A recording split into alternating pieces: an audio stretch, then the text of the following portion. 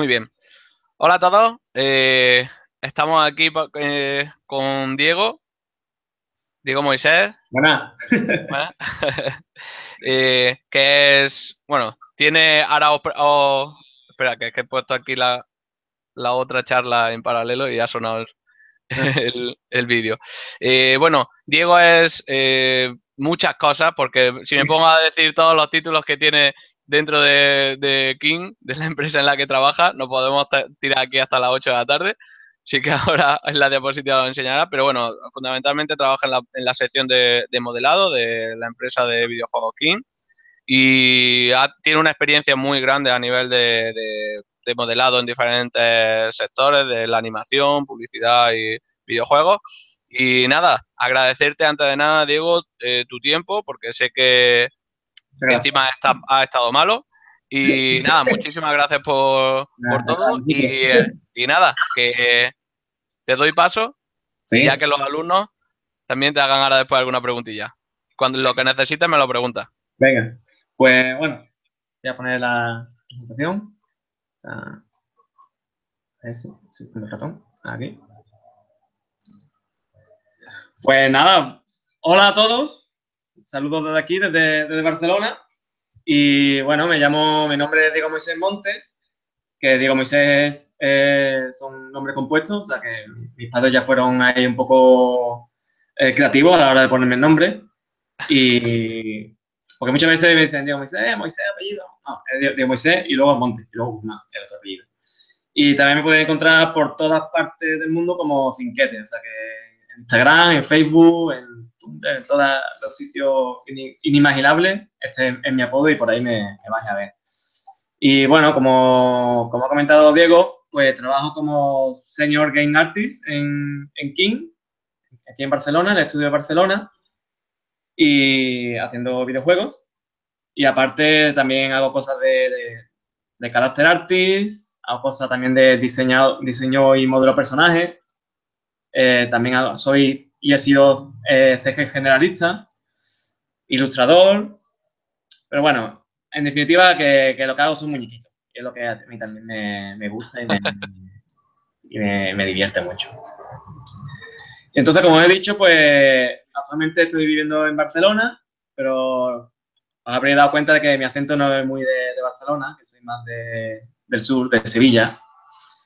Y más concretamente de, un pueblecito que está en el área metropolitana de Sevilla, que, es Camas, que está a dos kilómetros del centro. Y es famosa, seguramente muchos lo, sabréis, porque de ahí es Sergio Ramos. O sea que mi pueblo es famoso. Pero a mí, más que hablando, hablar de, Sergio Ramos y mi pueblo, me gusta hablar de mi, de mi barrio, de mi, el barrio de mi pueblo, que no aparece en Google, que tengo que poner yo el nombre aquí a mano, que es el Carambolo y ahí se encontró el, tesoro del carambolo, que era un tesoro de, los, de los tartesos, que fue una civilización que vivió en la península ibérica entre el siglo V y VI a.C. O sea que, que, la verdad que me gusta decir que mi barrio es un barrio con, bastante historia. Y bueno, pues vamos a hablar un poco de, mi experiencia a lo largo de mi, de mi, carrera, porque he trabajado en series de animación, de animación para, para la televisión, he trabajado también en películas de animación actualmente estoy trabajando en videojuegos y por mi cuenta pues hago trabajo de diseño de personajes de ilustración sobre todo basado en, en personajes. Entonces, mis mi comienzos, la verdad que a diferencia de mucha gente de mi, de mi quinta, de mi generación, yo lo primero que tuve de ordenador fue un, un PC, un ordenador Pentium. Y mucha gente de mi, de mi edad habían tenido amigas, MSX, Amstrad, yo ni ni los he visto, ni los vi en esa época, ni sé cómo funcionan, ni... bueno, ¿qué edad, ¿qué edad tienes para que se cuadren? Bueno, tengo 34 años y, y pues mi, mi, primer ordenador fue con 16 años, creo que, que, tenía cuando... Y yo creo que mucha gente ya con 10 años y tal ya estaba, de mi, de mi quinta estaba ya programando y haciendo juegos y cosas de esta de, de cassette y, y los ruiditos y estas cosas. Diego, yo soy de tu quinta, yo soy, tengo 33, yo soy de tu quinta y yo no vi un ordenador, no tuve un ordenador hasta los 20 años. Así que, yo, yo voy por el peor camino, iba por el peor camino que tú. ¿sabes? tarde todavía. ¿Has, cogido prisa? Lo cogí, lo cogí con ganas, sí, sí. Joder. Y total, que en estas cosas de, del 3D, lo primero que empecé a usar fue 3 Studio Más, que, que, empecé por mi cuenta. Yo estaba estudiando en el instituto y tal, pero un día un, chaval de mi barrio me dejó un CD con un programa y ahí venía el, el 3 Studio. Y a mí pues siempre me habían gustado los cómics, dibujar y tal, y, y me, me, puse a, a, a ver lo que, lo que podía hacer con esto, porque también era súper fan del tipo de animación, de las primeras pelis de Pixar. Y bueno, lo, lo primero que hice fue una, una, caja dando, dando vueltas y animada y era como ya, wow, ya soy animador, como wow, wow. y, y, así pues, claro, en esa época no había internet, había muy, casi no había libros tampoco y era ya delante de, del programa y a pelearte contra él. Y entonces tuve la suerte de que cuando entré en el bachillerato, pues en la clase pues había había amigos que había dos, dos compañeros que, que, también hacían 3D y entre nosotros pues nos ayudábamos, aprendíamos cosas, nos enseñábamos y, y ese era el, lo más parecido a, a internet que, que, tenía. O también uno de estos amigos tiene un amigo que sí tenía internet en esa época, se iba a su casa y se grababa CDs con, con tutoriales y me los traía y, y, y, era la única forma de conseguir un poco de, sí, sí. de, de, tal. Entonces, y en la revista, ¿no? ¿Perdón? En las revistas también, ¿no? En las revistas, sí. Eh, yo, no, yo no compré nunca, pero mi, este amigo mío sí, porque él, él lleva más, más, tiempo que yo haciendo 3D, y de hecho él ya a su espalda ya había quemado dos ordenadores renderizando archivos de estos de prueba con un coche con mucho reflejo, y los dos los, los, quemó. O sea que ya era un chaval que, y a mí la verdad que eh, aprendí mucho de él, y, a, y ahora sí, seguimos siendo grandes amigos y hemos trabajado juntos en, en empresas y tal, ¿sabes? Mm. Y total, que aparte de tres estudios, luego también eh, empecé a aprender Lightwave, que era un programa en la época, en esta época, en estos años, a finales de los 90, principios del 2000, era bastante conocido y bastante famoso. Y este programa fue el, el, inicio de lo que ahora es el modo, porque la gente que trabajaba en Lightwave se fueron de la empresa y montaron la empresa que, que hizo modo. De hecho, el modo es casi calcado al Lightwave y, el primer modo es copiado. Vamos. Uh -huh. Y total, que en esta época, pues, por mi cuenta, pues hice, hice cortos y así los más, los que estoy más orgulloso, digamos, por ejemplo, es el que hice de Oscar Leño Cabrón y el puta su perro, que, que, lo hice con Lightwave porque me gustaba mucho porque tenía un filtro para hacer cel shading, así en 2D. Y bueno, es la historia de un niño y su perro y tal, que un niño cani, estas cosas. Así un poco ruidoso par. Y, y, la verdad que llegamos a ganar el premio eh, al, del público el Festival de Cortometrajes de Mairena del Jarafe, que es un pueblo de, de allí de Sevilla, y nos, nos ganamos 100 euros entre, entre tres personas. Está bien, está bien. Que lo hicimos, así que bueno, estuvimos, sí, sí. Estuvimos una, una Navidad entera haciendo el corto y ahí está.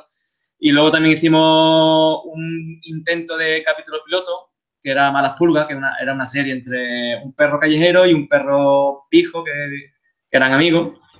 Y entonces intentamos moverla por ahí por Sevilla, por productora, pero la verdad que a nadie, a poca gente le interesaba. Y, y de hecho, en una productora que fuimos, de, que bueno, nosotros veíamos productora y, y entramos ahí a preguntar, pero una productora que hacía bodas, ¿sabes? Y entonces el, el, el, dueño nos dijo, no, pero esto estaría, está guay, pero estaría bien que hicierais versiones porno de personajes de Disney. Quedamos así como un poco... veía el mercado, veía el mercado. Era un veía el mercado, él, él vio ahí el, el, filón, ¿sabes? Sí, sí. Pero intentamos moverla, sobre todo en, de esa época la, la, ilusión que teníamos. O el otro corto que, que, que hicimos también, eh, éramos entre varios amigos que hacíamos cortos, era Andrés, y era una especie de filósofo que está siempre en primer plano, contando, haciéndose interesante y tal, pero se aparta de la cámara es como un pájaro, el, chiste final. Y total, pues todo esto lo hacía yo, lo hacíamos pues por la tarde, aprendiendo, cuando salía del instituto, pues me iba a mi casa y estaba ahí echando la tarde aprendiendo cosillas. En este tiempo, pues lo que, lo que estudié pues, fue el bachillerato de arte y el módulo superior de gráfica publicitaria, el módulo de, de diseño gráfico. Y entonces, pues cuando acabé el módulo de diseño gráfico, eh, intenté encontrar trabajo de diseño gráfico, pero fue imposible. O sea, me, me pateé toda, toda Sevilla echando currículum en todas las toda la, la empresas, pero Al final creo que me llamaron de una, que no me cogieron, encima las condiciones eran malísimas. Y total, para mí el 3D había sido siempre como, como un hobby y también me, ayudaba a presentar muchas veces los trabajos del instituto y tal, para, darle un poco más de consistencia pero vi que había un curso que era de, de FPO, de, la Junta de Andalucía, de esto gratuito para los parados, sobre diseño digital en el, que daban 3D, daban 3D Studio Max, y daban Photoshop y tal. Y digo, pues bueno, pues seguramente algo aprenderé, aunque ya tiene experiencia haciendo bastante cosillas, pero quién sabe por lo que pueda pasar. Entonces, este curso era de un año y tuve la suerte de que uno de los profesores de los que daba el curso trabajaba en una empresa en Sevilla. Y justo cuando acabé el curso, pues esa empresa necesitaba a alguien y ese alguien pues resultó que, que, fui yo. Y entonces así fue como, como conseguí el, primer empleo, que empecé a trabajar en, en el año 2004. Y entonces entré a trabajar en una pequeña empresa de Sevilla y la, el primer proyecto en el que trabajé fue esta, esta serie, se llama Mockland. Y entonces para... La verdad que fue un cambio porque los, los personajes eh, eh, los dobladores eran, entre ellos, algunos eran los, dobladores de, Dragon Ball. Porque, por ejemplo, uno de los protagonistas era el, narrador de Dragon Ball, eh, otro protagonista era la que le ponía la voz a Bulma. Entonces, para mí, que siempre he sido un gran fan de Dragon Ball y crecí con Goku y dibujando a Goku, para mí era como una cosa una, guapísima, ¿no? que estaba yo trabajando en una, en una serie que, que, le ponía la voz de ídolo de mi infancia, ¿no? Y entonces fue una serie de 13 episodios de 13 minutos cada episodio y se, se, emitió en, Canal Sur, que también era como bastante mm. a mí orgullo en esa época de la primera producción en la que trabajaba que ya se emitía ahí y lo vio todo, todo Andalucía. Entonces, pues esta serie mm, gustó bastante en Canal Sur, las productoras y tal, y entonces pues consiguieron la financiación y el apoyo para, para convertirse en película. Y entonces de ahí nació la película Misión en Morland, que en principio iba a ser eh, una película para, para, televisión, una TV movie, pero al final consiguieron bastante apoyo para conseguir estrenarla en cine y de hecho fue la primera película en 3D hecha en Andalucía que se, que se estrenó en cine. Entonces, pues aquí, ¿sí? Sí, sí, me acuerdo, me acuerdo. De esta peli, sí, sí. Entonces, aquí, eh, tanto aquí como en la serie, pues lo que, lo que y en, esta empresa lo que hacía era trabajo de generalista de 3D. Entonces, menos animar y, e iluminar, pues lo hacía todo. Modelar personajes, escenarios, texturizarlos, los mods de los personajes, los rigs de los personajes, que lo hacíamos con Character Studio porque era la, forma más, más de hacerla. Entonces, claro, era una... Era bastante trabajo y en poco tiempo porque era una empresa pequeña. Y entonces lo bueno de aquí era que, es que aprendes sobre todo a, a economizar y a, hacerlo lo más, lo más rápido posible con la mayor calidad para, en fin, que, que, luego salga un producto rentable. Entonces, pues aquí podéis ver fondos, escenarios, personajes. Fue un trabajazo y tardamos como un, año y medio en hacer la película. Que bueno, para los que fuimos y tal, para, estar orgulloso. ¿Cuánta gente estuviste trabajando? Así, el equipo total eran 20 personas. Modelando estábamos un chaval y yo, compañero. Animadores creo que eran 5, creo. Y luego iluminando estaba este compañero, que, uno de los compañeros, que te he dicho antes que conocí en el instituto, y que el tío iluminaba a dos manos. O sea, mientras uno de nosotros estaba renderizando, el otro, con otro dedo estaba iluminando. como, como el de Mecano, a, dos pianos. Y, y, total, que, que, después de la película, pues claro, esta empresa eh, tenía mucho, mucho encargo de la Junta de Andalucía. Entonces, uno de estos encargos fue la, la serie de, esta serie que era Andaluna Samir, que eran 13 episodios, y luego eran como 13 videoclips que también echaron en Canal Sur, y los videoclips lo ponían en, entre medio de la banda, así, entre, entre capítulo y capítulo. Y también en colegios ponían, ponían los, los, o sea, se llamaban los niños. Y era como para enseñar a los niños sus derechos, sus obligaciones. Y cada personaje pues tenía, un, como un personaje de, una, de un tipo diferente, porque la, niña era andaluza, el niño era árabe, el otro amigo eh, iba en silla de ruedas y la otra amiga era gitana. Entonces, pues se veía ahí la, convivencia entre todas, las culturas. En fin, y entonces también los temas que se trataban eran un poco, pues para que los niños tuviesen conciencia de que tenían derechos y deberes. Incluso había algunos temas que los guionistas trataron bastante bien, como el tema del, maltrato, el tema de tener padres homosexuales, que es un producto bastante interesante. Sí, sí. luego también hicimos otra, otra serie, esto era para el Departamento de Consumo de la, de la Junta de Andalucía, eh, pues para enseñarle a, los jóvenes a consumir de una forma responsable. Entonces, cada, aquí cada... También hice lo mismo, o sea, también me encargué de los personajes, eh, escenarios, trabajo de, generalista. Y entonces en este, esta serie iba de... Cada personaje era de una tribu diferente, una tribu urbana diferente, entonces estaba el metrosexual, el rapero, la, la hippie, el cani. Y eran pues capítulos con sketches y cada sketch pues, trataba un, tema, para que no esté fácil a los personajes y tal. Entonces, el, por ejemplo, el, el rapero, la, la, nota curiosa, porque siempre dejábamos ahí un poco la, las cosillas ocultas, el rapero la camiseta pone cinquete, que es mi apodo, y estaba, ¿sabes? Mí en mi época más raperil. y aquí, por ejemplo, eh, eh, hicimos un, un poco un dos por uno porque las dos personajes, la, pija y la gótica, así eran hermanas gemelas. Entonces, lo único que le cambiamos era el pelo y la ropa, pero por lo demás era el mismo personaje y, ahorramos un poco ahí. Luego, y luego la, última producción en la que estuve trabajando en esta empresa fue Evita Percance, que como su nombre indica, indica es para evitar percances y un poco también para lo mismo, para que los niños tuviesen cuidado con los peligros de la casa y tal. Y es una niña que es súper fan de los cómics y entonces cada vez que ve que hay un peligro, pues ella se ve a sí misma como una heroína y, y los peligros pues los ve como súper villanos.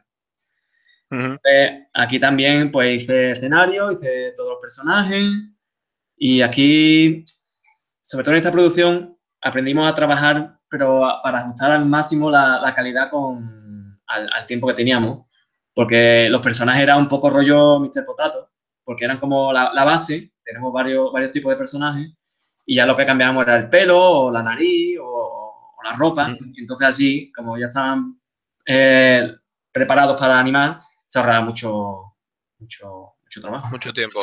sí. Entonces, pues más o menos hasta aquí, eh, esta fue la, la, última producción en la que estuve trabajando en esta empresa. Ah, Gary preguntaba que cuánto tiempo más o menos tardaba en hacer cada capítulo y que y en sí la duración de, los capítulos, me imagino que eh, variará dependiendo del proyecto, pero sobre todo cuánto tiempo tenía y si os exigía mucho, sobre todo a la hora de los tiempos eran muy, muy, muy, muy marcados. Claro. Era, solían siempre, siempre ser enmarcados porque claro, la, financiación eran de, de, la Junta o de organismos así oficiales. Entonces, yo, por ejemplo, en el de miscelánea, que que enseñó antes, que tenía un poquito más de calidad, aquí creo que, era como una semana para hacer los personajes.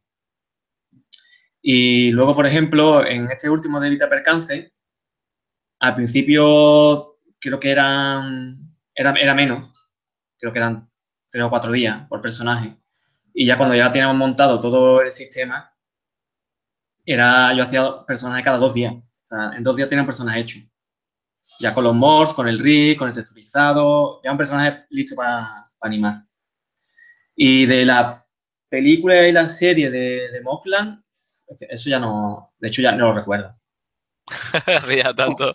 Pero, por ejemplo, la película tardamos pues ya te digo, un año y medio creo, y los capítulos de Mockland completo, no sé si era un capítulo al mes, más o menos.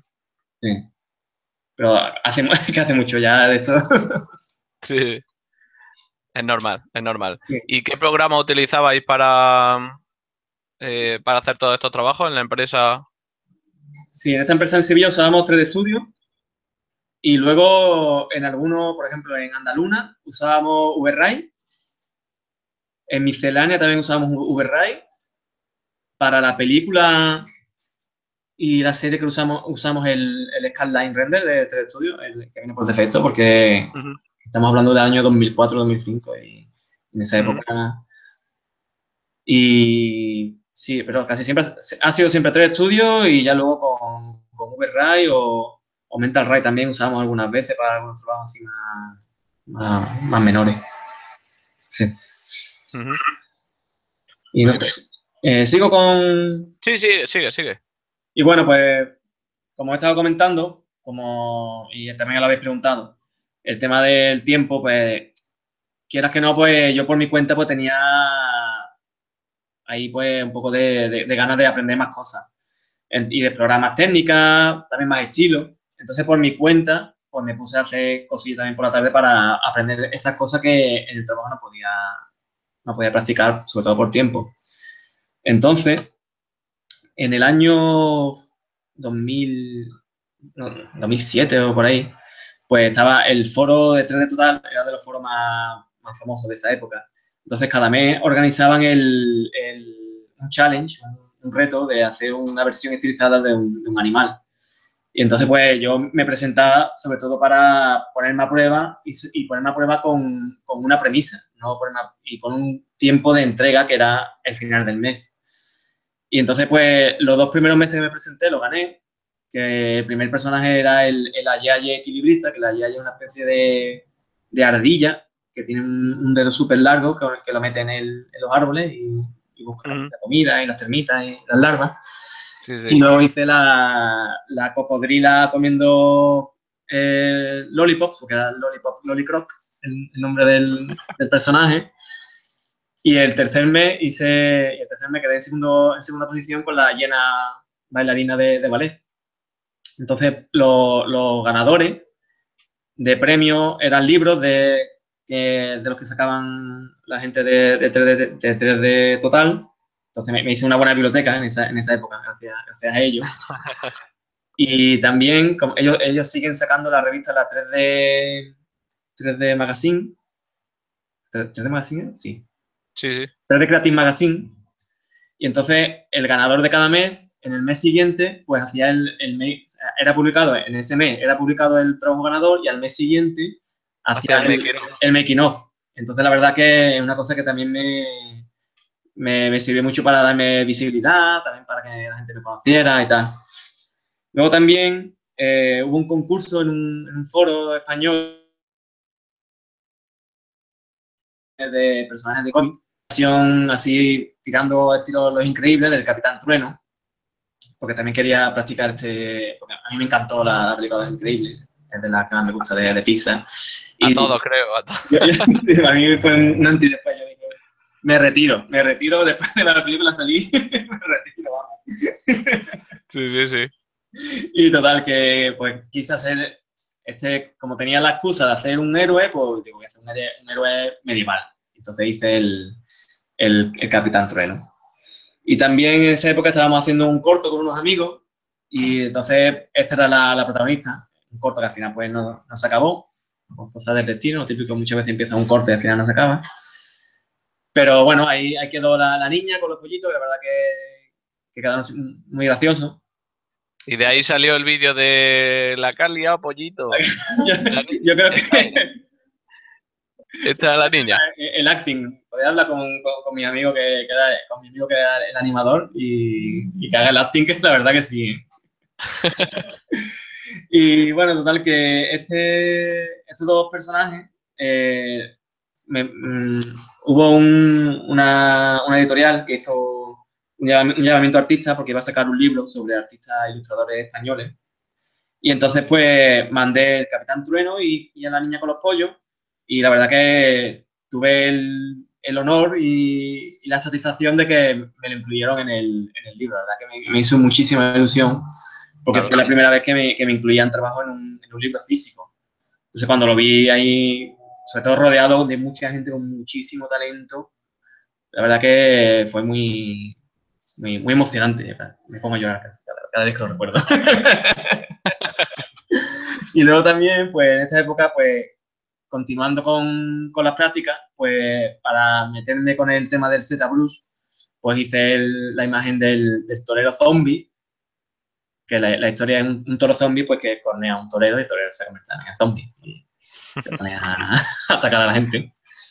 Y también buscando un punto así más de los típicos trabajos que se hacen con Z-Bruce, más con rollo de, más, de miedo, digamos. Y también pues hice a la, a la chica con los cascos, que también para probar pelo, para probar shader de, de face catering, iluminaciones globales y diferentes tipos de acabados siempre para buscando aprender cosas.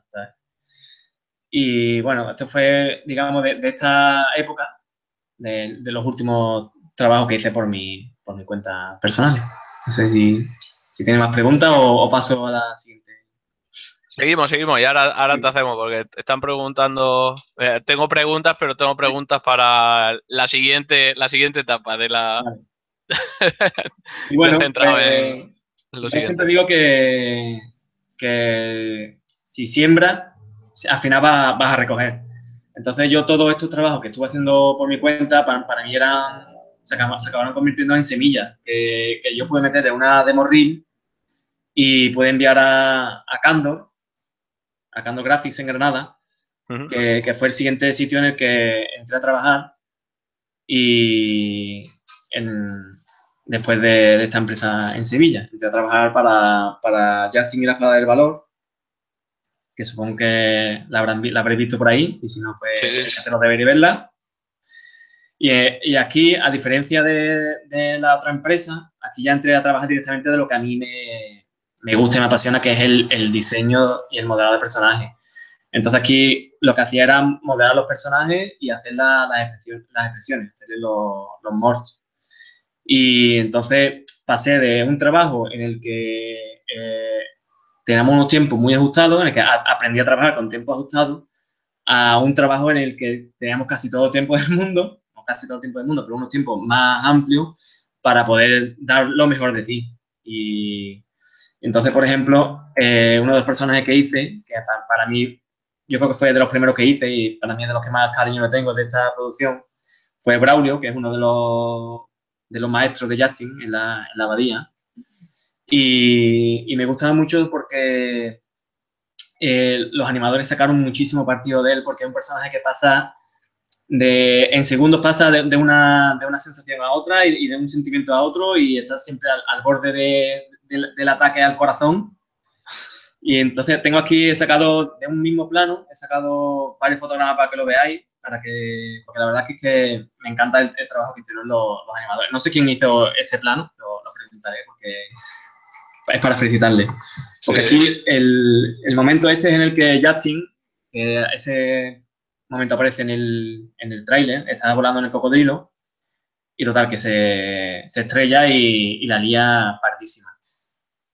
Total, que lo primero que ve Braulio, que claro, es su, su, obra de su vida es su, es su abadía, que ha estado viviendo ahí toda la vida, y no se puede creer, y, mira para un lado y, y, ve la que, la que ha liado Justin y le va a dar ataque al corazón. Y se va hasta a punto de morir, le va a dar el, el, el mayor colapso del mundo, pero de repente le entra la, la, la, furia y la ira y dice, antes me tengo que cargar al, al niñato este, que, que, es un torpe, me lo cargo, es que me lo cargo, me lo llevo por delante y luego ya me encargaré yo de, que me dé ataque al corazón.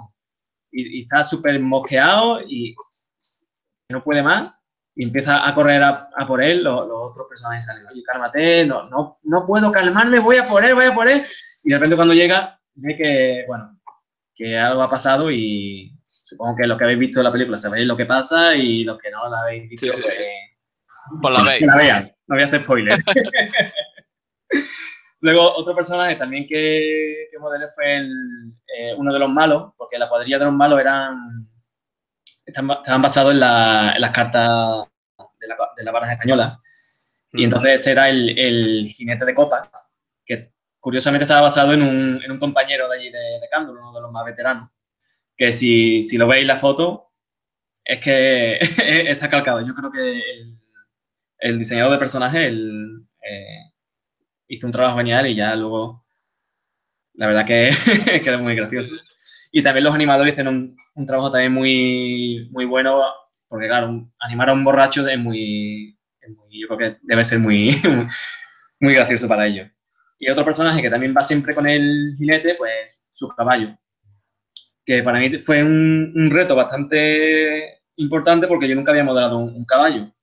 Entonces estuvimos mirando referencias y la verdad que fue duro, pero, pero luego también mereció la pena porque al final los dos personajes lucen, lucen muy bien en pantalla. Da mucho juego. Da mucho, da mucho juego. Son una pareja cómica muy buena en la película y el caballo está súper súper gracioso, animado y luego también el texturizado, o sea, todo está muy, muy, mm. muy bien hecho. Estoy muy, contento, la verdad, con todo el trabajo que, se hizo después de, de cuando yo dejé un personaje. El trabajo que se hizo después también fue excelente.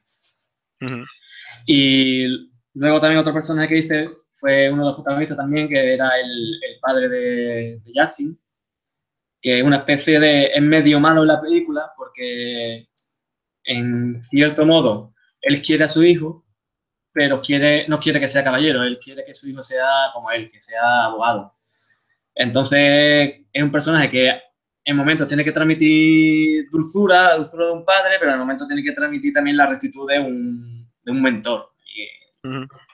Entonces, también un personaje, una versión de este personaje que, que al final no lleva a salir en el, en el metraje final, fue cuando Justin sueña que su padre es como una especie de, demonio que, que, le obliga a ser, eh, a ser abogado. Y esta parte estaba chulísima, pero al final por temas de, de duración de la película pues se, se, quedó fuera. Y otro, otro personaje que eran uno por uno, eran, venían en oferta, eran los, los brutos que estaban liándola en la, en la posada que básicamente era el mismo personaje, pero bueno, la idea era que eran gemelos. Entonces, pues, cambiando el pelo y poniéndolo uno mellado y cambiando un poco la ropa, dos, personajes diferentes que se veía que eran, que eran hermanos gemelos. Y la verdad que este personaje a mí me, me gusta mucho también como, como, quedó luego también animado y tal. Y me, gusta. Es que me, me gustaron todos como, como, quedó tanto los que yo hice como los que hicieron otro compañero porque al, final le coges tanto cariño. Sí, mucho tiempo trabajando en esta cosa. Y también sí, algunas cosillas, pues este personaje que era un búho mecánico, que, crea, que era Braulio, que como una especie de inventor loco, ahí en día Y, y se nos enseña a Justin y los que habéis visto la película pues ya sabe cómo, cómo acaba esta escena. Y los que no, pues mm. tenéis que hacer los deberes. y bueno, esta, esto fue ya de lo, de lo último que hice ya en Justin porque ya se acabó la, la producción de, de, personajes.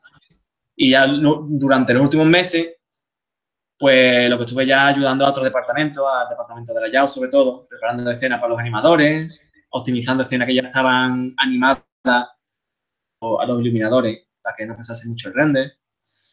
Y, y ahí hasta que ya se, ya se acabó mi contrato en, en, en Candor.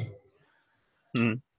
Y bueno, continúo con, con Te hago, te hago alguna preguntilla. Bueno, eh, preguntan que si tú realizas los bocetos para tus proyectos y eso, y también para Justin y la, para la película de Justin, si también realizaste bocetos o solo realizabas lo que era el modelado.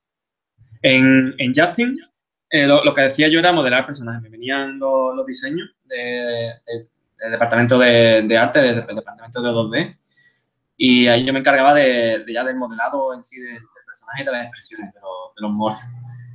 Y mis trabajos personales sí hago yo los, los bocetos. Y eso sí lo hago yo, lo hago yo todo. yo procuro siempre que todo lo que hago sea original mío. Genial. También preguntan que cuánto tiempo tardaba y cuánto tiempo os daban para hacer el modelado de, de un personaje. Pongamos, por ejemplo, el modelado de personaje de los brutos. Sí. Bueno, los brutos era, fue un poco especial porque como eran dos por uno, o sea, de los personajes, del resto de personajes, eso sí. o del resto. Eran, tres semanas de, de, modelado. Tres semanas por personaje. Por personaje. Y los brutos fueron un poquillo más porque fueron, digamos, uno, tres semanas y luego, no sé si fue una semana más, para hacer las variaciones de la ropa y tal. Vale, en esos personajes lo que hacías también era modelaba y le hacías lo que eran los, los morphes de la cara, pero tocabas algo de la U, de la V, preparabas la malla para luego el texturizado. Sí. Todo lo hacías. ¿Los materiales también lo hacías? No, los materiales ya lo hacía el departamento de Sharing. pero las V sí las tenemos que hacer nosotros. Digamos que tenemos que dar el personaje ya listo para, empezar a texturizar, por un lado, para animar, por otro lado, porque se hacía en paralelo y ya luego se, mezclaba. Y, también para el, departamento de tele también teníamos que darle la, geometría bien preparada para que, para que ellos hicieran el, la simulación. las simulaciones. Bien cortada, nada de polígonos raros y ese tipo de cosas. Ser lo más limpio posible. Vale. Eh, eh, otra pregunta que había mandado antes era, ¿os daban algunas pautas, os limitaban mucho en el tema de la orientación de los loops en los personajes? Eh, bueno, es que eso es una cosa... O sea, yo trabajaba, digamos, éramos cuatro modeladores más el supervisor y lo mirábamos entre todos, pero la orientación de loop más o menos sigamos mm, un criterio propio entre, entre todos, pero no, no había una pauta obligatoria de tienes que hacerlo así, así, así, sino que ya también con la experiencia cada, cada uno ya va aprendiendo dónde colocar los loops y no tienes por qué tener mm, una, forma ya establecida de, de hacerlo, ¿sabes? Mm. ¿Te echaban mucho para atrás eh, modelos cuando los preparabas, los pasabas para que le hicieran el rig, lo miraban, te lo volvían a... ¿Había mucho feedback o, o tuviste... Era bastante buena la malla en sí, bien preparada para que la pudieran trabajar sin que tuvieras que complicarte mucho la vida en... Bueno, a, nivel técnico, eh, digamos que no había mucho, mucho retail porque ya teníamos una, una práctica, digamos, una best practice, que se dice en inglés, como se dice en español, una forma de hacer las cosas. Y la seguíamos y no sé, siempre había alguna en plan, hoy mete un par de lumas aquí, aquí, para allá. Eso es lo que es la, el aspecto técnico de los personajes. Ya luego en el aspecto artístico sí estamos trabajando casi codo con codo con, con los diseñadores de personajes, los, artistas 2D, y pues muchas veces que no sabíamos cómo, por dónde tirar, pues se venía con nosotros y o nos hacía en el momento boceto en papel o nos decía, mira, pues, venga, pues por allí tira, sacar volumen, este personaje desde este punto de vista se ve de aquella manera. Era más un trabajo codo, con codo que un trabajo de acabar algo y, recibir feedback en, el aspecto artístico de esto. Vale, una otra pregunta que, tenían era si trabajabais directamente, eh, bueno, este Justin se hizo con con XSI, con, XSI lo, hicisteis, eh, trabajabais primero con, con y luego para hacer volúmenes o directamente lo hacíais todo un poco más en tradicional. Sí, todo, se hizo tradicional. para personajes no usamos para nada. No hacíais mm. volúmenes para, para ver eh, en... ¿No trabajaste primero lo que era la malla para, hacer los volúmenes que aceptasen los diseñadores, sino que ya estaba muy claro todo?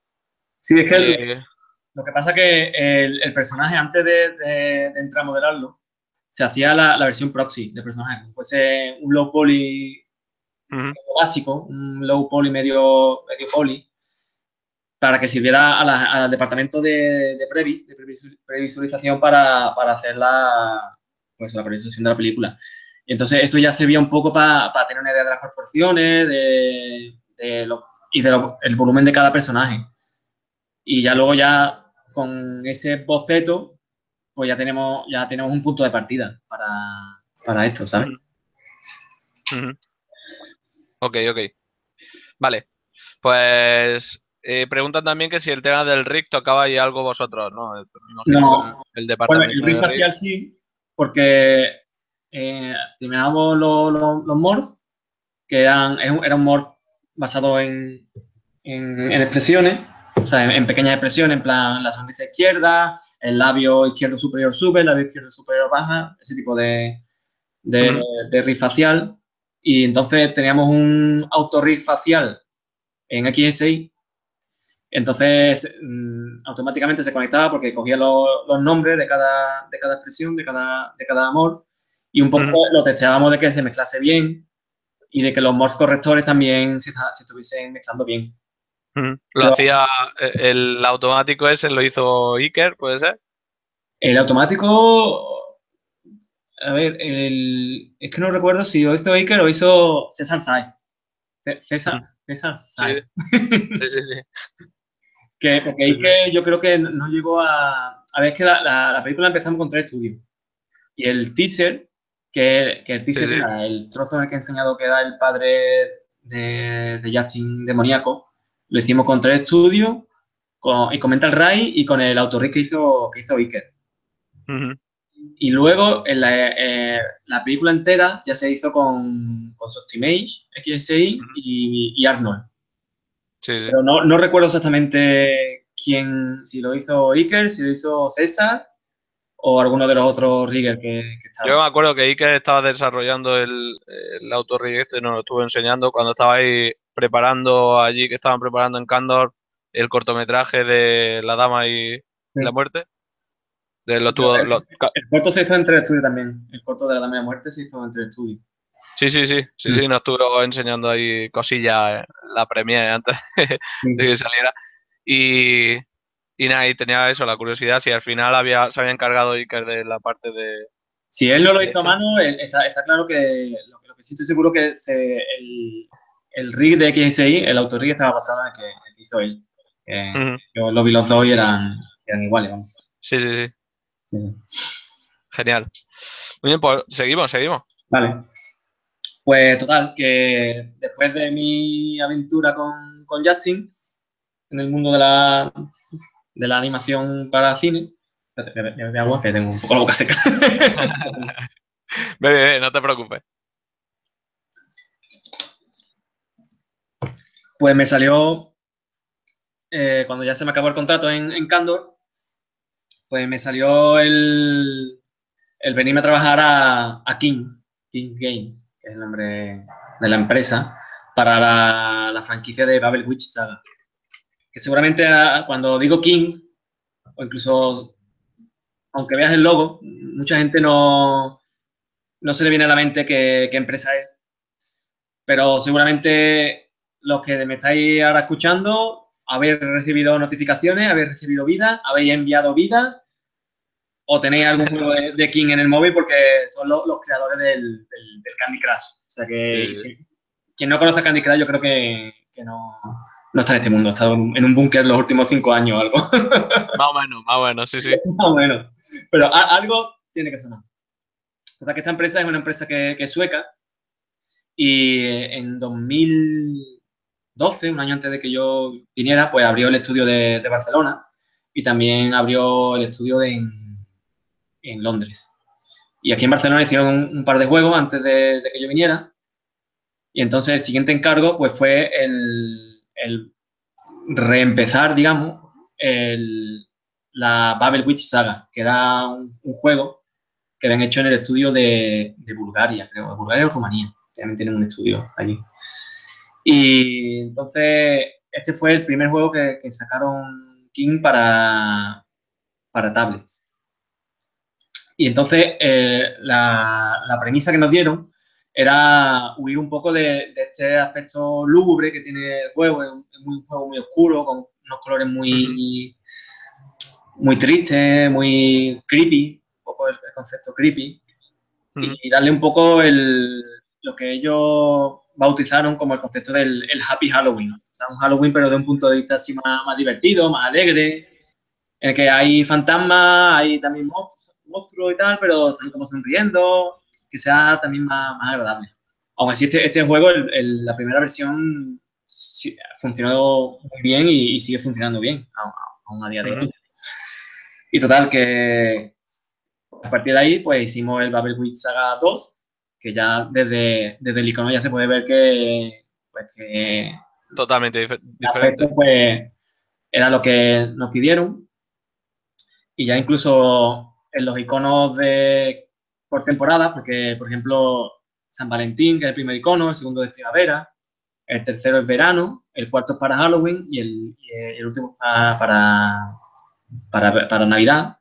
Ya se ve los colores alegres, más, más saturados, más, todo más, más happy Halloween. Entonces aquí, eh, la idea que tenía la empresa eh, y, el, equipo a que me uní, era de que cuando tú lo vieses no, no sabías si estaba viendo un juego o, una película de, animación.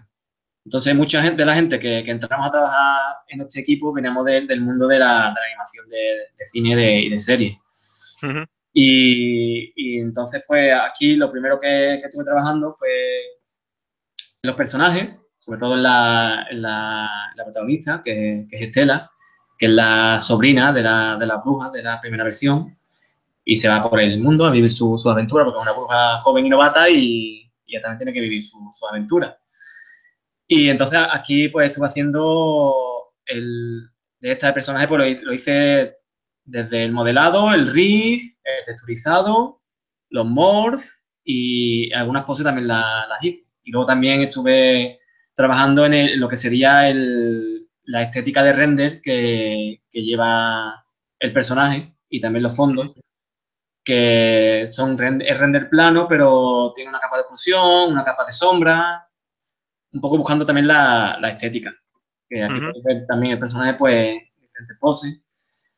Pues que es 3D, pero en cierto punto es un poquito casi 2D, pues por eso, porque tiene parte de un render, un render plano y luego tiene encima las capas que le dan un poquito de volumen, pero no súper 3D.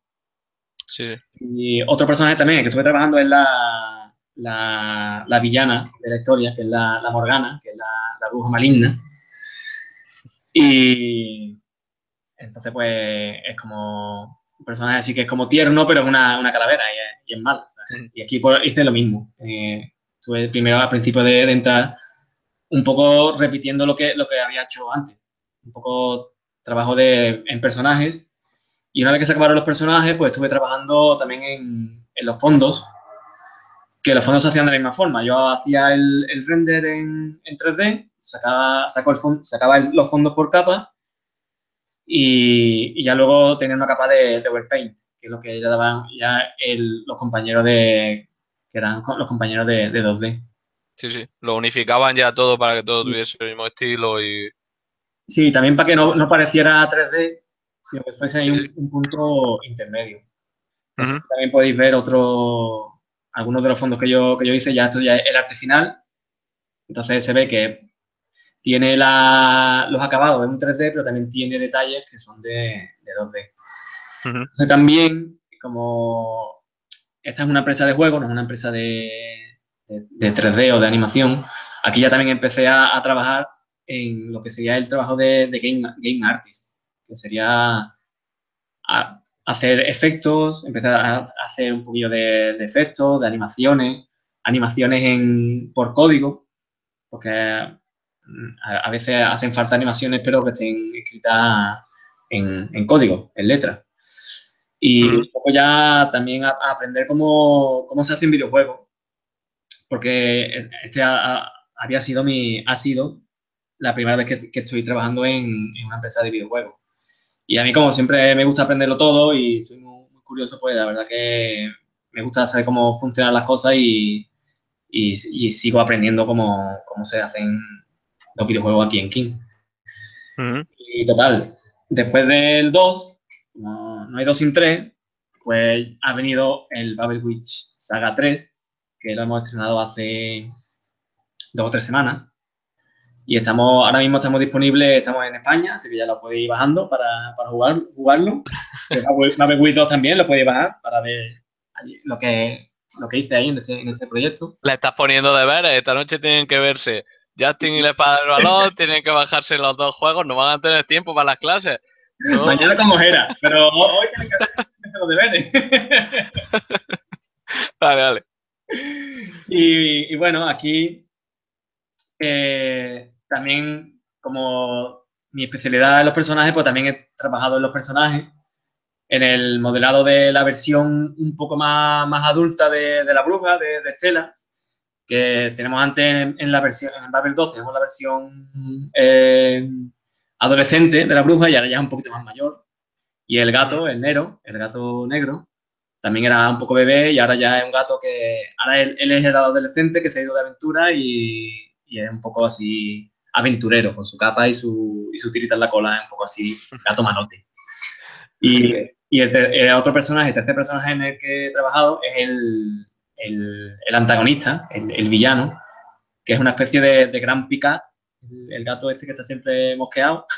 Un gato así que parece que, es mimoso y gordito, pero es, el, es el, malo de, la, de aquí de la película. Y entonces en estos personajes, pues al igual que en Babel 2, pues hice modelado, he hecho los, los morphs, texturizado, el rig en Max para, hacer las poses. Y, luego aparte también, eh, ya la estética, este, este juego es mucho más 2D y lo que es la estética ya la, la hacen los compañeros de, que son más artistas 2D en darle una capa más de, de Overpaint 2D eh, que, que, antes que tenía la capa de base y, la capa de occlusión, la capa de sombra. Es un render un poquito más, más, más 2D, digamos. Y entonces, aparte de, de, los personajes, como comentaba antes, he seguido eh, aprendiendo cómo se hacen juegos. Eh, entonces, mmm, también he estado, pues, como he dicho antes, ahondando en cómo funciona el engine que usamos en King, que es un engine propio, eh, montando las escenas, los elementos del juego, o sea, todo la, burbuja, todos los, efectos, la, las animaciones de partículas, también he estado haciendo las animaciones de la, interfaz, de, los pop-ups, cuando aparecen. Y, en mi caso me he encargado de, establecer el estilo, de hacer como una guía de estilo de las animaciones de los pop-ups, de, dependiendo de cada elemento, cómo se debe de, animar, para que luego cuando se hagan nuevos, nuevos elementos de la, de la, interfaz, pues se sepan cómo, cómo hacerlo.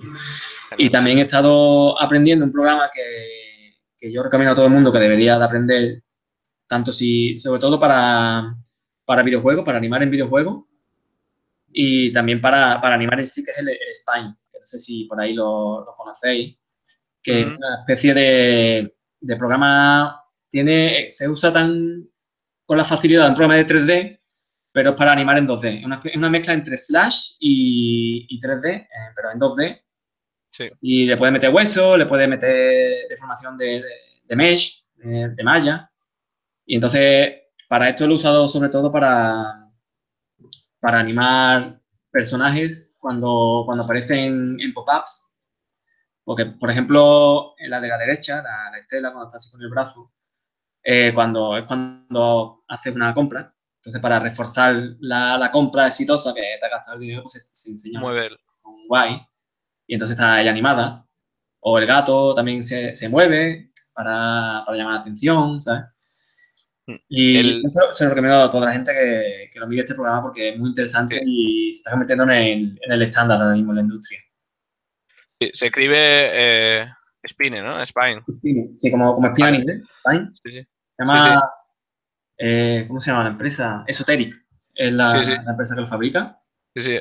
Pues eh, es un programa que la verdad que sí que lo utilizan muchísimas empresas de, de videojuegos Mm -hmm. Unity se utiliza mucho, pero también es una cosa que no sé si para la gente de Blender, porque una de las preguntas que están haciendo los compañeros es que qué software utiliza, ¿vale? Sí. Al final, ¿qué, ¿qué, software utilizáis vosotros en, en The King? ¿Has dicho ya que utilizáis 3D Studio? Bueno, en Kings mmm, depende un poco también de, como somos, somos muchos equipos, somos muchos, somos muchos estudios. En, todo el mundo, entre los que están en Suecia, en Berlín también hay estudio y tal. Entonces, un poco depende de, de cada equipo cómo se organice. En, en, en, mi caso, lo que, lo que yo, lo que usamos es 3D Studio con Mental Ray. Pero sé que hay otra gente que usa 3D Studio con VRay, sé que hay gente que también usa Maya. Sé que hay, tengo compañeros que usan Blender también para hacer el Babel Wish 2. Eh, uno de los compañeros que, que hace los fondos lo ha hecho con, con Blender por ejemplo. Así que, mira, ahí tenéis vuestro... ¿Pele Balsar? El, el, Pe- el Pera Balzac estaba en Babel 2 y hizo algunos, algunos, algunos fondos y ahora está, él está en otro, en otro equipo y es, es otro compañero el que, el que- Ah, vale, vale. No, es que Pera, Pera sí eh, no estuvo dando, bueno, hace un par de años estuve- estuvimos con él en una charla en la Blendiveria, estuvimos hablando también y, y de una charla sobre su trabajo en King también con, con Blender, que hacían las Sí. cosas con Blender. Sí, de hecho yo estuve, estuve sentado eh, trabajando con él al lado, estábamos sentados al lado y él...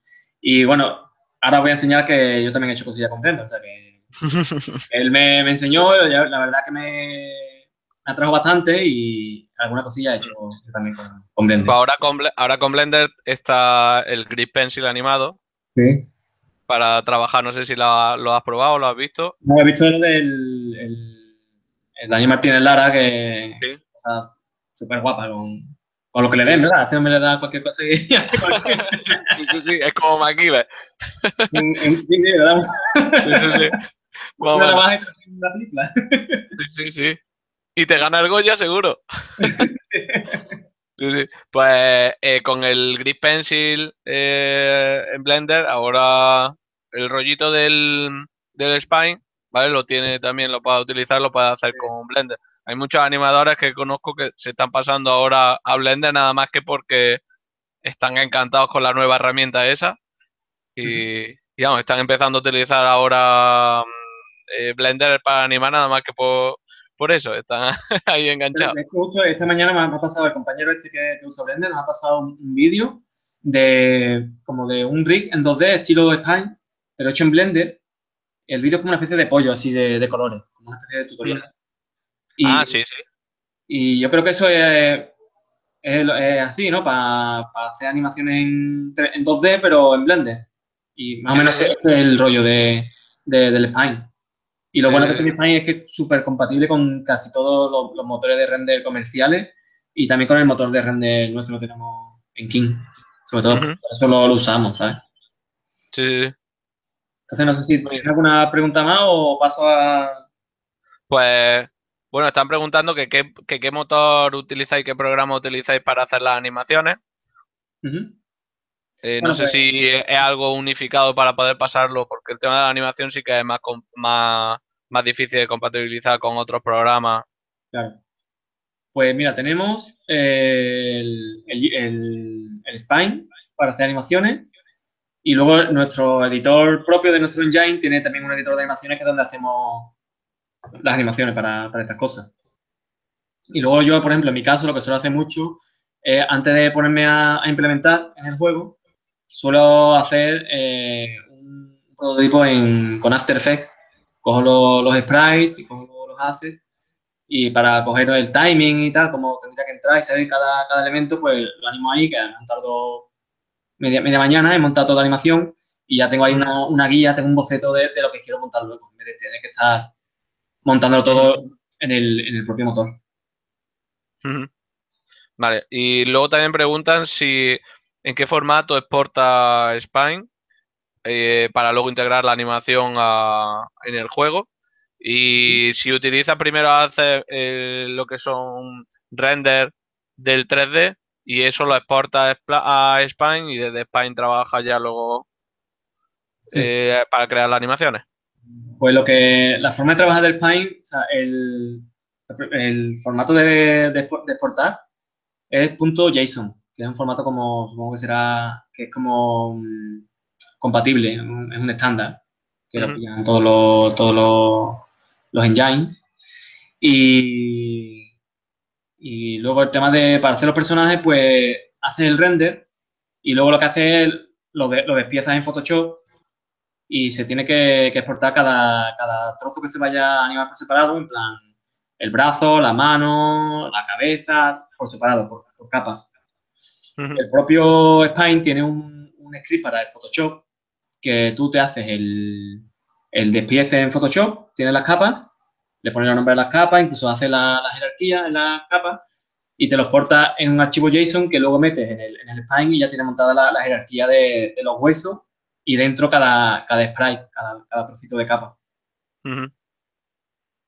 Sí. Muy bien. La verdad que sí que Eh, hay cada estudio, me imagino que utilizará su programa. Estudio aquí de Barcelona, con el Spine también trabajan para hacer juegos de 2D, para hacer juegos 3D utilizan 3D Studio, otros utilizan solamente Blender y luego lo pasan a Unity y hacen el efecto así de, de, 3D. Pero bueno, son estudios también un poco más pequeños que King normal tenga su propio su propio motor. Sí. lo grande que soy. Estaba preguntando también si estáis conectados entre diferentes estudios de, por ejemplo, vosotros trabajáis aquí en, Barcelona, pero tenéis proyectos en común con, con los de los de los que estáis en Reino Unido, los que hay en Bulgaria. ¿Trabajáis entre vosotros solo o, conectados con otros estudios? Pues digamos que cada, cada estudio eh, es que no sé si lo, puedo decir esto por temas de confidencialidad. Bueno, no pasa nada. Sí, sí. Vosotros trabajáis cada uno trabaja en su proyecto y ya está. lo, que, sí puedo decir es que realmente sí eh, no somos el estudio de Barcelona y el estudio de esto cuando somos empresas diferentes, sino que, que sí somos la, misma empresa y podemos pedir ayuda o si no sabemos cómo se hace algo. Sí, sí, tenemos todo. Digamos que aunque estemos en sitios diferentes, estamos somos la misma empresa. Sí, pero al ser proyectos tan grandes pues, y diferentes, pues vosotros encargáis de, un proyecto y otros de otro y ya está. Sí, y ya está. Muy bien, pues sigue, sigue, Diego. Bueno, pues y total, que esto es un poco hasta ahora lo que estamos haciendo en King y también, bueno, como me ha comentado que soy bastante curioso, que me gusta aprender un poco de todo, pues cada vez que entra un compañero nuevo, pues le pongo un poco al día, le enseño cómo, funciona el engine, cómo montamos las cosas, cómo, cuáles son nuestras best practices. Le enseño también a usar, por ejemplo, el Spine. Hay un poco también de, de, mentor, se llama como buddy, dicen aquí. Porque también es un poco lo que se pide aquí a lo que sería un, un senior artist, que es mi, mi puesto. Que no solo hagas tu trabajo bien, sino que aporte valor a, al resto de la empresa y al resto de compañeros. ya me veo, otra vez. Vale. Eh, también una de las preguntas que, había, que me habían mandado era si para trabajar en King es necesario eh, tener conocimientos de inglés. Eh, bastante. Por lo menos para, porque para empezar, la, yo creo que tuve que pasar seis entrevistas, creo. Y, y dependiendo del, ámbito en el que estés, porque yo tuve la suerte de que, el departamento de arte hablaba todo español, menos la directora de arte total, de Final Boss of Art the King, que está lógicamente. Entonces ahí sí tuve que hacer la, entrevista en inglés. Entonces, digamos que tienes que tener el nivel mínimo para poder presentarte en inglés, poder hacer tu, tu carta de presentación en inglés y puedes hacer entrevistas en inglés y, decir qué es lo que haces, cuáles son tus especialidades y, bueno, mm. venderte bien y que, te, y que te contraten, porque luego es que eh, como la empresa hay mucha gente de fuera, aquí incluso en Barcelona, pues sí, con que haya una persona que, que hable inglés, ya la reunión se tiene que hacer en inglés. Entonces hay que estar al, nivel. Claro. Otra pregunta que, hacían era, eh, la, pregunta del millón. ¿Qué hay que hacer para entrar a trabajar en King? A ver, eh, te tiene que pasar el Candy Crush entero. o sea, no va a trabajar nadie porque es infinito. a ver, pues. ¿Qué hay que hacer? Ser bueno. Aunque suene un poco así a, pegote, porque buscan a, los mejores. Porque quieren a los mejores para que hagan los mejores juegos que se van a ver en todo el mundo y lo van a ver, va a llegar a la mayor difusión. Entonces, ¿qué, hace falta? Tener un buen portafolio. Yo creo que tener, si eres artista, no hace falta muchas veces tener experiencia en videojuegos, porque yo no tenía. Y, me, cogieron porque cumplía el perfil que, buscaban. Y, no sé, pasar las pruebas porque te pasan, te hacen también una prueba práctica y entonces pues en esa prueba práctica también eh, tú tienes que mostrar si estás al nivel o no de, de, King, pero no, no, es difícil, la verdad. No es, nada imposible. Tiene eh, también el tema de, recomendaciones de, gente que esté trabajando allí, influye bastante. Eh, sí, porque si, si has estado trabajando con, con alguien y te lo y tú lo si yo he estado, yo he estado trabajando con alguien y yo lo lo recomiendo puedo dar fe de que esa persona se puede se trabaja bien de que es responsable de que lo que está mostrando en el portafolio es suyo y no está mostrando cosas de otra persona por ejemplo sabes o sea que va, va, también a contratar a una persona que, que metes con más seguridad de que, de que va a hacer bien el trabajo y de que va a encajar bien en el, en el equipo. Otra pregunta que entra dentro más o menos del mismo, del mismo perfil de pregunta que te acabo de hacer ahora.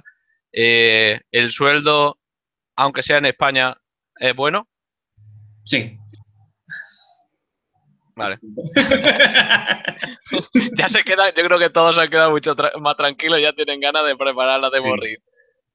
La, verdad que, que, sí, y también, aparte del sueldo, que bueno, que eso es confidencial y no se puede sí hace hablar de dinero, eh, sí nos da muchas facilidades, porque, por ejemplo, aparte de, esto, pues tenemos seguro privado con Sanita, tenemos eh, tarjeta de, comida, de, ticket restaurante, nos pagan el gimnasio, eh, nos pagan también las clases de inglés, nos las pagan, o sea que si, si consigues entrar y tienes un inglés así medio medio, como, como el que yo tenía cuando entré, te ponen clases de, de, acuerdo a tu, al nivel que entra cada uno. Y en definitiva nos dan muchas facilidades. Más allá del sueldo, yo creo que una de las mejores cosas de King son las, todas las facilidades que tenemos. Y la oficina también, tenemos cocina, tenemos lo típico microondas, tenemos snacks, tenemos desayuno, en fin, que... Mm. Vive mejor que quieres, ¿no? ¿El eh, perdón? Vive mejor que quieres, ¿no? Casi, casi, ¿eh? Vale, ah, preguntan también que si tenéis áreas de espacio para videojuegos, para entreteneros y desconectar. Sí, pues eso, tenemos, aparte de la cocina, porque es un espacio bastante grande, tenemos, tenemos terrazas para también ir a, comer. Ahora, ahora ya no, porque está ya lloviendo, está el tiempo un poco feo, pero en verano está súper bien la terraza. Y tenemos áreas con videoconsolas, tenemos, unas, tenemos salas de juegos con juegos de mesa y también tenemos futbolines. Para que mm. juegue allí. Genial, y genial. de ping-pong también. Genial. Y al final echáis, porque eso es una, un poco un, arma de doble filo. Eh, porque eh, echáis más horas de las que tenéis que echar por esas condiciones también, porque estáis allí, estáis cómodos. Bueno, al final yo creo que ya la gente que, entramos ya tenemos, digamos, una edad y ya somos lo suficientemente maduros para cumplir con el trabajo, saber cuándo podemos o cuándo podemos bajar a echar un ping-pong o a echar un bolín. O, también, o lo contrario, cuando estamos muy agobiados de trabajo, que, estamos hasta arriba, que también, también es recomendable de, bajar y... Sí, desconectar un rato para seguir siendo productivo. Al, final lo que, lo que habla por cada uno es el trabajo y el trabajo entregado. Entonces, no, hay, no hay nadie detrás con el látigo, no hay nadie detrás diciendo, has estado mm, sentado tantas horas y te has levantado tantas veces, sino que, al final lo que importa es, es, lo que tú dejas, es, el trabajo que dejas. Entonces, si tú estás todo el día jugando al fútbol, si estás siete horas jugando al fútbol y, una hora jugando y una hora trabajando, mm, al final se nota. Haya o no alguien detrás, al final se claro, claro. Muy bien. sí, sí, sí. Continúa, continúa, Diego.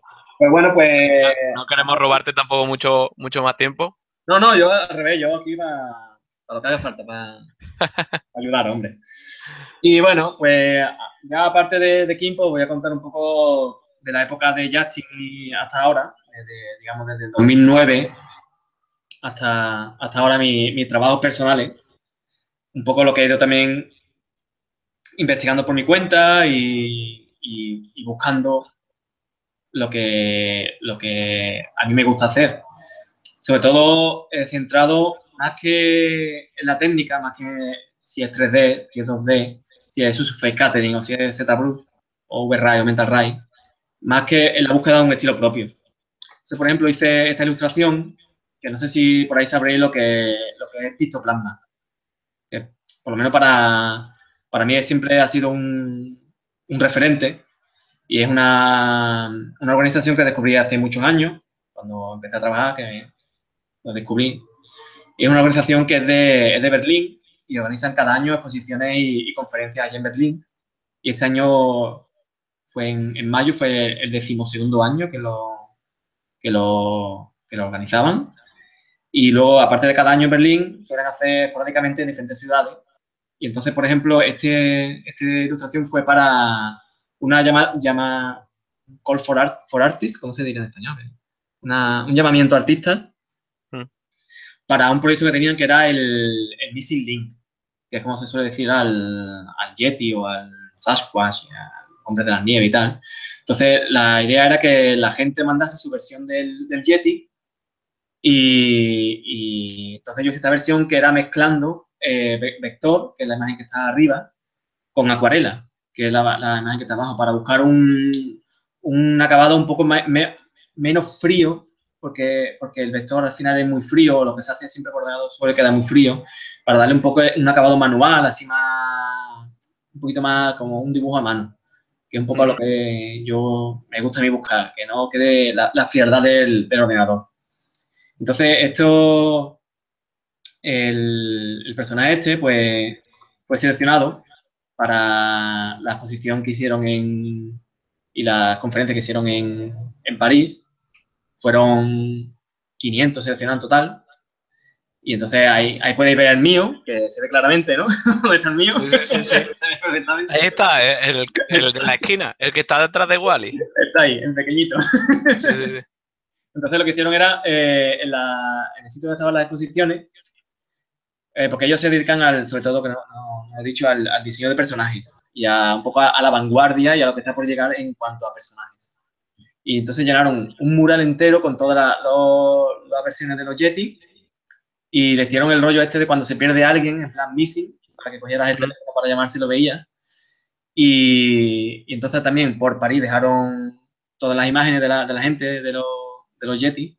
Y luego cuando hicieron al año siguiente la, la exposición en Berlín también estuvieron dejando por todas las paradas de autobuses y por todos los, los sitios.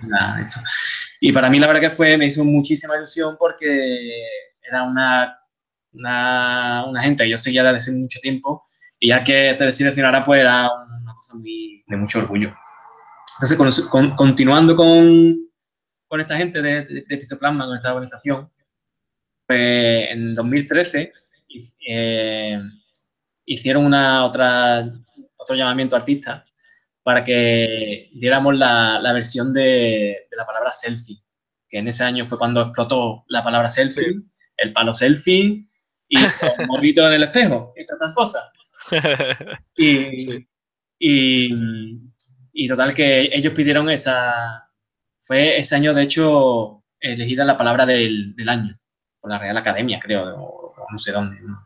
la gente esta que se dedican al estudio de las palabras.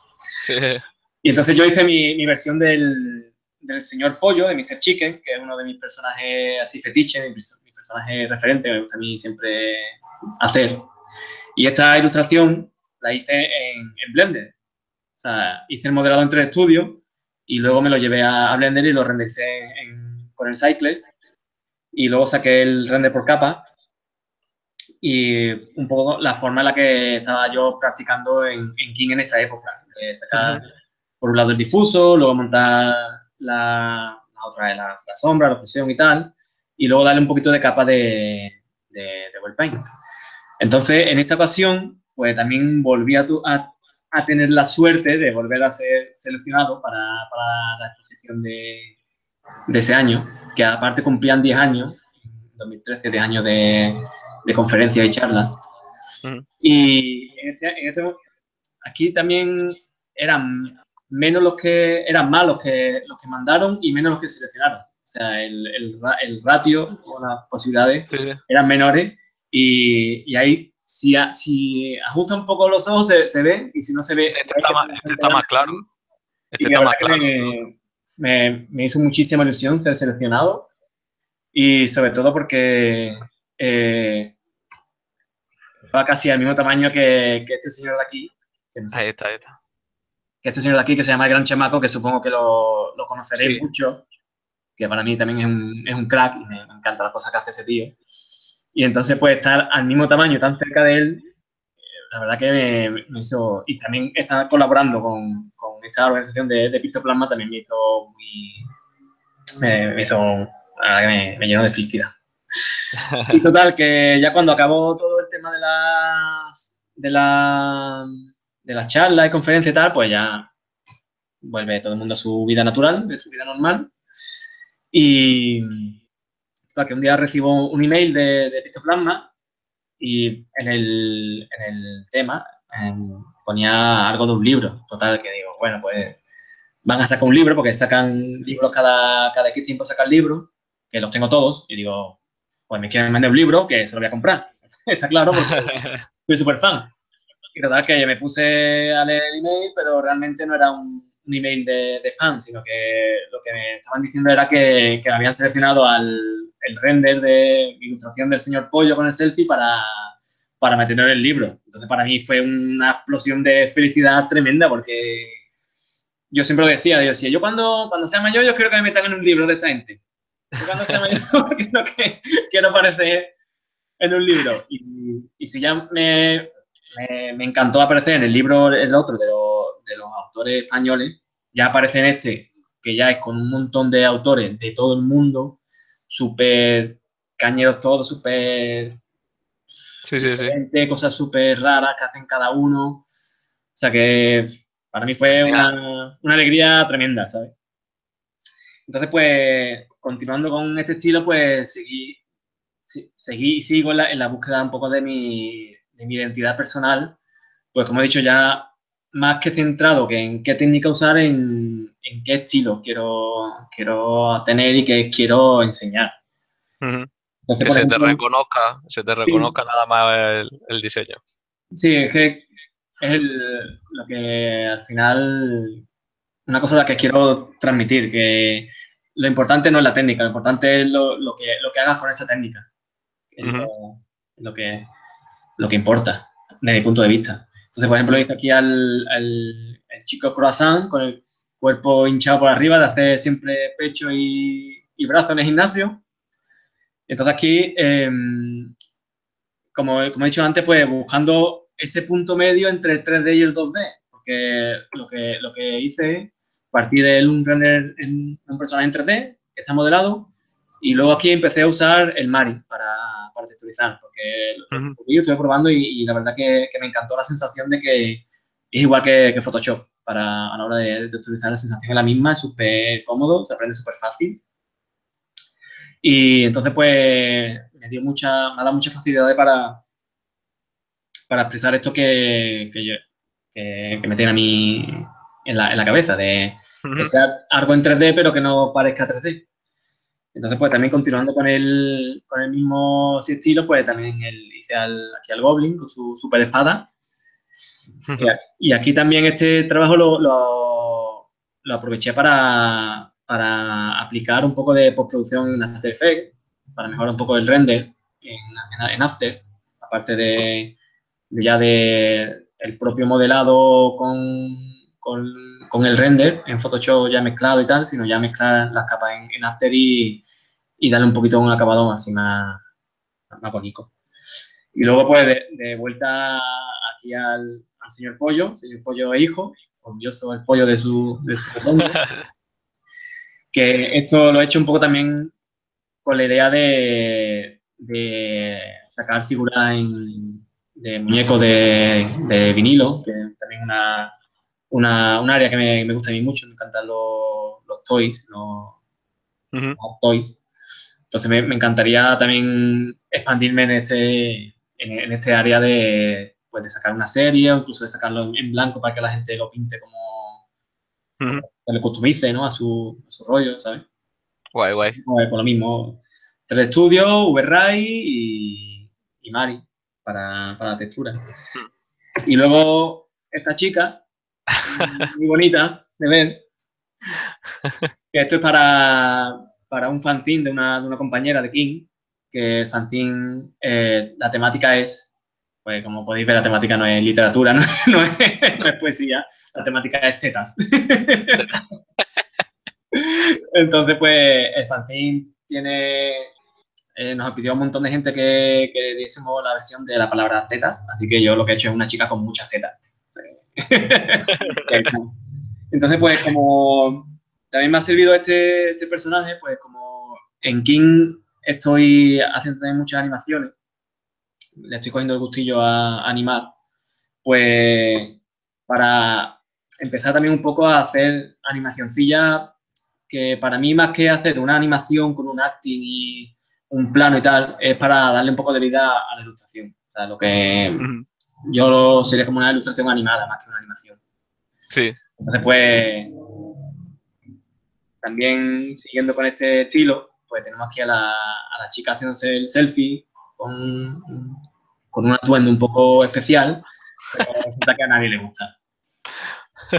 Usando también las técnicas que he comentado antes, pues modelado en 3D, el overpaint, eh, luego el, After Effects para darle el toque final de la postpro. Mm. Entonces, pues, para contar un poco la historia de esta chica, pues una animación así un poquito en loop, de un poco lo que a ella le motiva en la vida, que es tener seguidores y likes, pero no, pero no lo consigue. Pero no tiene. y bueno, pues es un poco así a, grandes rasgos lo que, lo que habéis visto un poco sobre mi vida profesional y tanto en empresas como por, como por mi cuenta. ¿no? Entonces, yo, lo que, desde mi experiencia, lo que quería transmitir aquí es que, no se conformen con, lo que están haciendo y que estén siempre abiertos a, aprender y a mejorar, ¿sabes? Y que estén siempre intentando de, investigar y de que tengan sobre todo mucha pasión en todo lo que, lo que hacen. Y una cosa que a mí me, ha servido mucho ha sido el, participar en concursos y eventos porque te pones a prueba. Y también conoces a gente que te influye, que luego tú a ellos influye, ¿sabes? Genial. Sí, sí. Una de las preguntas que hacían aquí era que cómo te organizabas el tiempo para trabajar en King y seguir con tus proyectos personales. Que que qué consejos darías para buscar un estilo personal. Pues a lo primero, durmiendo poco, eso no, hay más secreto. 24 horas tiene el día para, todo el mundo, 8 horas hechas en King o en cualquier, en cualquier empresa. Y luego yo, pues, en mi caso me voy al gimnasio, estoy una horita ahí tranquilito haciendo mi, mis pesitas, mis cosas. Y luego cuando llego, pues me pongo poquito a poco, sin prisa, sin agobiarte. Yo tengo en, mente un concepto que es el, el Kaizen, que escuché una vez, la verdad que me lo aplico, que es la mejora constante. Y es que consiste en que cada día tú seas un 1% mejor que el día anterior, solo un 1%. O sea, eh, lo que se ha hecho toda la vida sin prisa, sin pausa. Y eh, pues no agobiarme, o intentar por lo menos no agobiarme, si, si no lo voy todo rápido que, que puedo, ¿sabes? Y luego en cuanto a lo del estilo propio, pues yo realmente lo que siempre digo es que los, los artistas malos copian a una persona solo. Y los artistas que se dicen que tienen estilo propio, o que lo menos parece que tienen estilo propio, tienen muchas referencias, o sea, que copian a, mucho, a muchos artistas. Y entonces, pues, ese es un poco el rollo, que, que, miren mucho en todos lados y que, que sean eh, muy, muy curiosos con todo y que no se centren sobre, que sobre lo, más importante, que no se centren en, la técnica, porque la, técnica es un, es un medio, no es, no es, un fin. El 3D no es, no es hacer 3D para hacer 3D, sino es hacer 3D o 2D o, vectores o lo que haga, o, acuarela para, para hacer algo. Entonces, pensar en, ese fin y en qué tú, qué es lo que quieres contar. Y que lo hagas, sobre todo, divirtiéndote en este, en este camino, porque es un camino largo en el que estamos todos. Y entonces, si, te diviertes, luego eso se va, se va a notar, esa, esa, energía que tú le pones cuando te estás divirtiendo en algo, luego, luego se nota en el que lo ves, tanto si estás trabajando y te están pagando por hacer un trabajo, como si lo estás haciendo para, para ti mismo. genial. No lo podíamos, no se podía expresar mejor. La verdad que sí. una, un libro o algo, una... un libro de motivación. De cita, o, o lo escribo desde, en el fondo de un, de un papel de estos, un papel viejuno de estos así, un papel. Así, Pero, bueno, lleva, mucho, lleva mucha razón, lleva mucha razón. Al final, sí, sí, cada día intentar esforzarse un poquito más, un buen, muy buen consejo.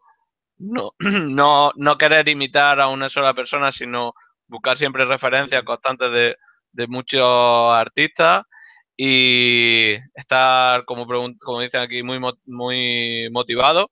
Y, y, bueno, una cosa que nos decía el otro día también Juan Pablo, que, que todo lo que vayan haciendo, que lo enseñen, que, que vayan buscando feedback y que, que no tengan problemas en, en, hacer un trabajo y, y, y, mostrarlo, porque así es como al final vamos, se va a aprender. Es que lo que, lo que pasa es que cuando nos, nos, vamos haciendo mayores o menos niños, vamos cogiendo mucha vergüenza. Pero un niño chico, cuando te, te enseña un, un, dibujo que acaba de hacer, al niño le, le, da igual que un brazo sea más grande que otro o, o lo que sea. El niño te lo enseña, está súper feliz y, y, y, es, este, es, tener esa idea de, de, que estás jugando, de que te, te, lo estás pasando bien haciendo cosas y que te, cuando le enseñes está claro que te van a dar feedback y ya tú decides qué hacer con, con el feedback si si ese feedback también como es. Hay que aprender también a, a filtrar el feedback. Y a, sí. a, eh, el tema de feedback también es un tema curioso. es un tema para una charla completa. Vamos. el feedback es sí, gran sí. amigo enemigo. Sí, sí, sí. El feedback, sobre todo al principio, puede llegar a ser, puede ser el mejor, tu mejor aliado, o puede ser el enemigo mortal que no seas capaz de levantar cabeza. Pero te lo tienes que tomar de una manera, un poco una filosofía de mejora siempre. Sí. Porque si no, mm. nos creemos que somos los mejores, nada más empezar.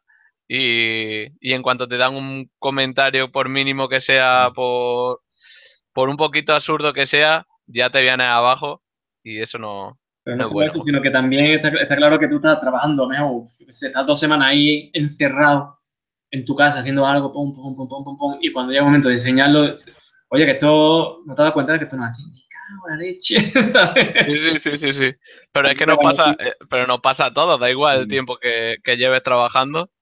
Sí, pero si tenéis gente de, de, confianza, hay gente a la que confíe en su, en su criterio y enseñarle también de poquito a poco los, los avances. Entonces también, yo lo hago mucho, con, sobre todo con mis amigos más cercanos, que, que son gente de los que yo confío y gente que, que sé que tiene criterio, se lo voy enseñando poco a poco como voy avanzando las cosas y, y la verdad que, que, me sirve mucho. Más que pegarme un mes encerrado en casa y, y decir, mira, ¿qué te parece?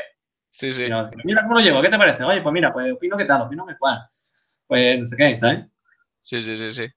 La verdad que sí.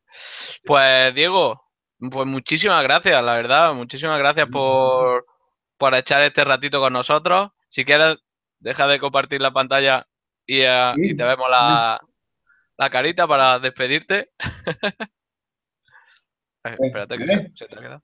No, tienes que darle al mismo botón que le has dado antes de. Ah, vale, aquí, el botón este, vale. De compartir. Y ahora, ahí. Ahora, ahora ya se te. aquí en todo este rato. pues nada, eso, Diego. Que muchísimas gracias, Tocayo.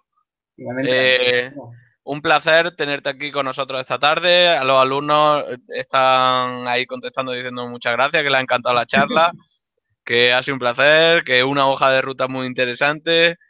Alegro. Muy interesante todo, que fantástico. Así que nada, de verdad, muchísimas gracias por tu tiempo, por tu experiencia y seguro que, que les va a valer para mucho para centrarse y ponerse meta y seguir estudiando, no olvidéis, estudiar. ¿eh? Sí, que luego muchos vienen aquí, pero luego no hacen el ejercicio, así que, ah. hay, que hay que dedicarle tiempo. Y bueno, nada, si quieres darle el último consejito antes de despedirnos. Bueno, sobre todo eso, que, que, que se fijen en, en todo y que, que, sean, que sean curiosos, que estén curiosos sobre todo y que, y que, que procuren divertirse y que, y que busquen su, su forma de, de, hacer las cosas y lo que quieren hacer. si a, alguien le gusta animar, que se dedique a animar y, que, si a alguien le gusta modelar, que modele y que no haga lo que se supone que tiene que hacer, sino que haga lo que realmente le hace feliz. Que al fin y al cabo, vida solo hay una y, si no eres feliz, pues, al final estás malgastando. Te quedado. Muy bien, pues lo dejamos con este mensaje y que te ha quedado muy bien. y nada, chicos. Eh, Diego, un placer. Nos vemos pronto a ver si por allí por Barcelona hacemos una visita. Está invitado. Igual por aquí si venís por Málaga. Y, a los demás que han visto el vídeo y la gente que lo verá después, muchísimas gracias también por, verlo y nos vemos por, por la escuela. Un saludo. Hasta luego. Adiós.